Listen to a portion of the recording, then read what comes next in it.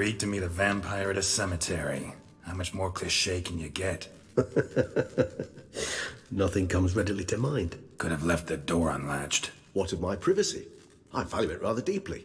Unmolested, especially by unwanted guests, that's my preferred state. Besides, I knew you'd find a way to get in. True enough. Need to find your friend. I'm hoping you'll agree to help.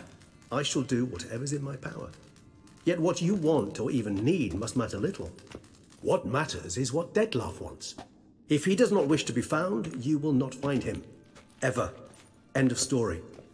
Come on. Gotta be some way. Hmm. Vampires can evade detection by the senses, and no divination magic works on us. Even the most precise megascope would be useless. And this? Could this help? Wherever did you get that? Off one of the beast's victims, found by a bend in the river. Body was chopped in pieces. Three of those pieces were hands. Hand with the ring seemed the odd one out. Abruxa had taken an interest in it.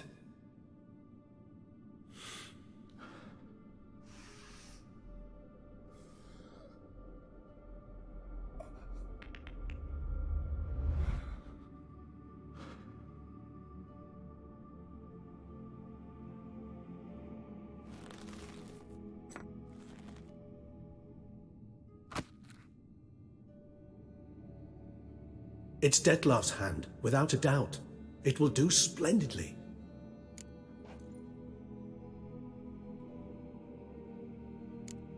Ring's pretty intriguing. Made of no metal I've ever seen. And the ornamentation. It comes from our home. Where we lived before the conjunction of spheres. It's actually mine. I received it from a dear old friend. You might call him a humanist. He saw us vampires as guests here, guests who owe their hosts, meaning you humans and the elder races, respect. Respect? Meaning not to treat us like cattle to be slaughtered for food? Precisely. And the reason why I, in turn, gave it to Dettlaff. To remind him of the ideals my old friend championed. The hand. What do you plan to do with it? You've heard of Kovinarius' theory of tissue memory retention. Hmm. Rings a distant bell. Read about it in Alchemia Oblitera. There's a copy at Kaer Morhen, tattered, nearly disintegrated. But if memory serves, Kovinarius never managed to prove it worked. He did prove it, just never managed to publish his findings. He and I corresponded, you see, after we became friends. Thus, I know he completed his research and performed the first tests. It's complicated, so without delving into details, it is possible to use any piece of tissue to reconstruct what a whole body experienced. How's it work? We need any special equipment? We must brew a decoction which Kovinarius gave a rather poetic name resonance. Once imbibed, it sends one into a trance similar to that induced by narcotics. This triggers visions of events linked to strong emotions experienced by the tissue's owner. Picture it as dreaming a fragment of someone's life.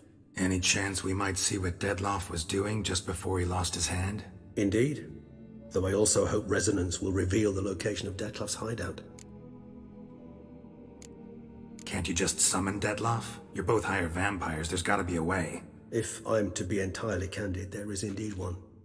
But believe me, we will be better off never availing ourselves of it. It is a last resort. Absolutely. Last resort? The hell? Why? Uh... There is a being who can summon Dettlaff. Possesses the authority, even the power, to force him to appear in a given place. But the very act of contacting this being well, it's akin to walking a slack line extended over a chasm filled with molten lava. An exercise as perilous to me as it would be to you. A risk I'm unwilling to take. I beg you, let's do it my way. It will be both quicker and easier. Kovinarius spent half his life proving his theory. Wild guess. Making a dose of resonance won't be easy. You guessed correctly. In addition to Dettlaff's tissue, we shall need a powerful occipital lobe stimulant. Effectively a poison, to make one susceptible to visions. Hmm. Well, got a few ingredients to choose from. Unfortunately, all are pretty rare. There's Mamoon glands, but closest ones I know of are in Vizima. A spotted wight saliva would also serve, but they were cold to extinction over a century ago. Could go with a kobold's eyes, but the creatures are sentient. Rather not gouge one's eyes out. Hmm. Given that we lack the time to sleuth this out ourselves, permit me to summon some help.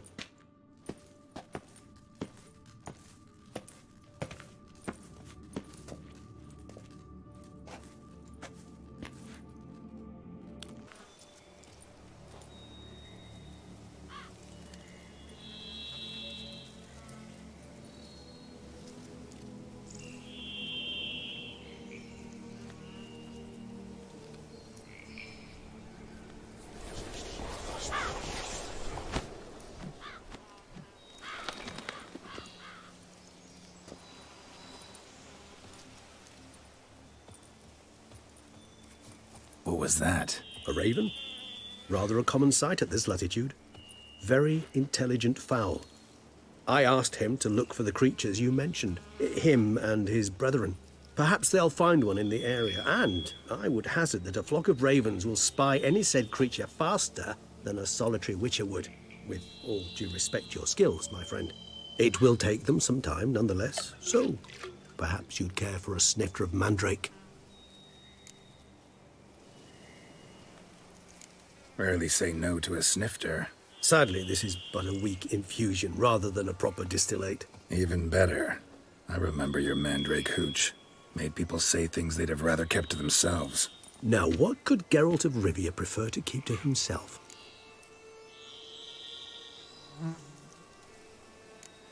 Everyone's got some secret. I agree wholeheartedly. I also believe it wise at times to share one's secrets, unburden oneself to those one can trust. This your sophisticated way of asking me if I trust you? I prefer almost always to ask indirectly. It seems a test of intelligence, one you just passed. Maybe you should go first. Reveal one of your secrets. After all, you vampires lead very interesting lives. Anything in particular interest you? Curious what you did after you were reborn. As I'm sure you can surmise, at first I was thoroughly absorbed with recovering. As it is, I've still not recovered completely. Yet I was so weak the first year that I could not stand nor move on my own. Dettlaff bore my weakness bravely, showed great patience. If not for him, I wouldn't be here, and I'd have regenerated far slower. Once I could at last stand unassisted, I set off for Brugge, for my one-time home of Dillingen. There I led the peaceful life of a rural healer and surgeon, enjoying my neighbours' respect and, in fact, constituting the exact opposite of the monstrous vampire the populace imagines. Brugge, you say? Rebirth make you sentimental? Perhaps a dash. But what of you? Where have you been? Ever find your Cirilla? Back then, yeah. But we parted again soon after. And when the time was ripe, she came back. Defeated the Wild Hunt together. Ooh.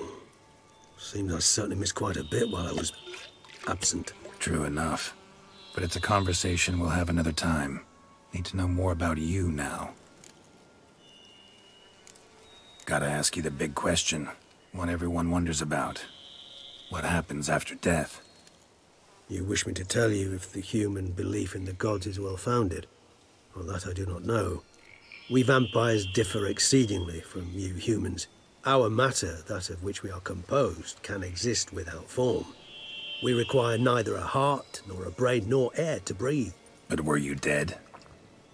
As humans understand death, yes. Feel anything? Understand anything? Hmm. It's rather hard to explain. I felt something very unsettling. Something I cannot even name, for I did no reasoning. Only after rebirth did I begin to understand that what I had felt was cold and unimaginable fear. If not for Dettlaff, I might have drowned in an eternity of icy terror. Can't have been alive then. Sheesh, experience like that must be vicious. Hmm. Indeed, it's it's hard to compare to anything I know. Yet you are aware we don't see death as you do. The way you cling to life, we find it entirely peculiar. You are mortals, ergo it's a foregone conclusion. You will die. It's but a question of time. Thus, I often find myself wondering why you try so very hard. To die at 20 years, 40, even 100, what's the difference? They're all but the blink of an eye.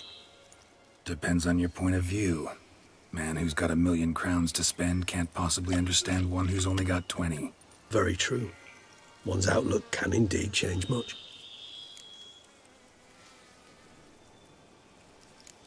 Got a new life, new body. That give you a new start? Blank slate? Starting all anew is a very broad concept. What exactly do you mean? Your blood addiction, say. Wondering if your body's the same, if it still remembers. Maybe if you drank now, you wouldn't get hooked. All addictions are a form of slavery. Re-addiction's not a risk I'm willing to take, just to test a hypothesis about corporeal regeneration and whether propensities carry over. Fair enough. Curiosity, that's all. Sorry. Not to worry, Geralt. Curiosity is a natural reaction under the circumstances, apart from which I've always valued that trait in you. Always fascinated me the way vampires can regenerate. A hand growing back is one thing, but Dettlaff recreating you out of a wet smear? Something else entirely. A difficult and laborious process, but one that's possible. As my presence proves. But, but I've heard you too had quite the adventure. They say you lost your memory. For a bit, but Triss helped me get it back. Actually, pretty damn lucky I only had amnesia. Yes, you humans are rather buggered in those terms. To strip you of life is, well, it's just plain easy. I've always pitied you in that regard. We vampires are much harder nuts to crack. If a member of another race kills one of us, we can be reborn with a living higher vampire's help. However, if one of our own strikes the deadly blow, death is permanent. There can be no rebirth. One of the chief reasons why vampires long ago swore never to fight one another. All right, give you one question. What do you want to know? One question to ask one as fascinating as you, Geralt. Cruel parsimony, I'd say, but I shall do my best to make it count.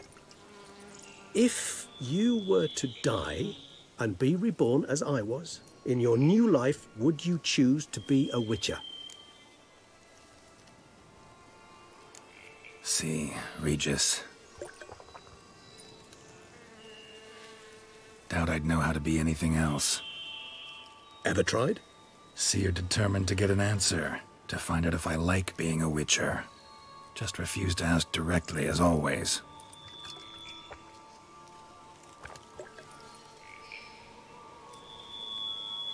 I like being on the path. I like picking up a lead, a trail. I like the tension right before a fight. And nothing gets my adrenaline flowing like battling a beast. Even gotten used to people treating me like a freak, an outcast. Yeah, not something I think about much, but I like being a witcher. Thank you for being honest. Honesty is an attribute of the truly brave, and thus a privilege of the very few. Still no sign of your winged friend. Sure it understood what you wanted? Dead certain. Let's wait a bit longer. It'll return soon, don't doubt that for a moment.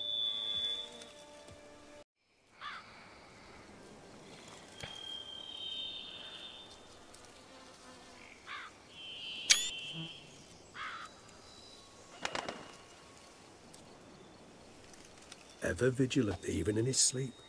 Quite vampire-like, in fact. Are you absolutely certain they don't administer a few of our genes during the trial of the grasses?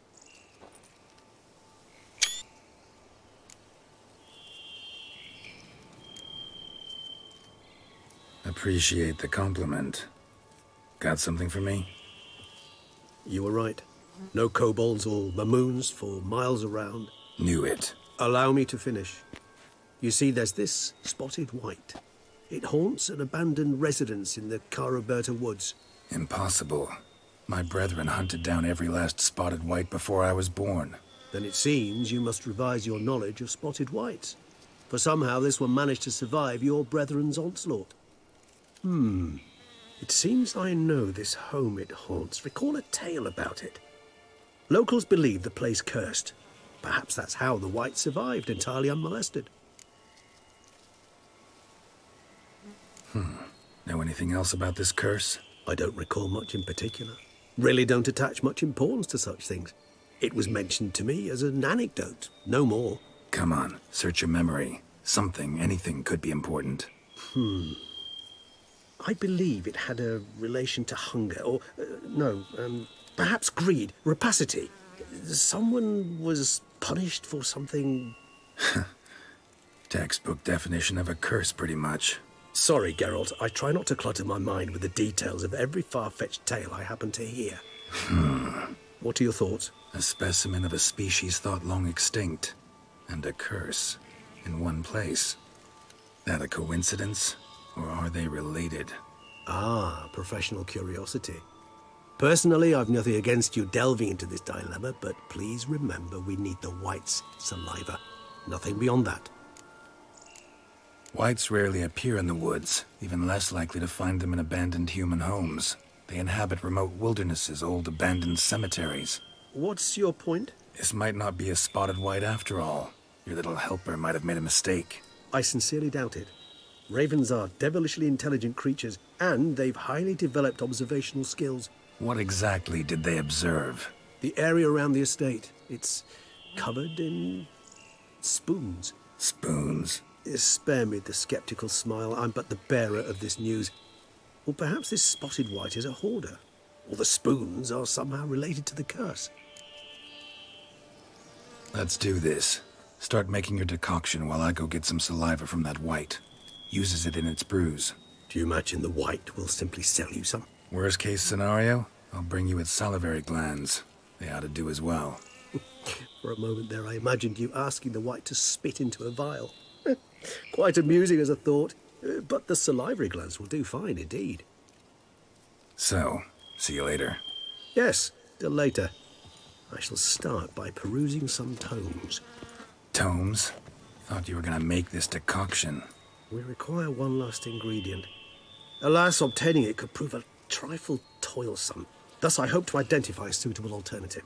All right. Good luck. And to you, my friend.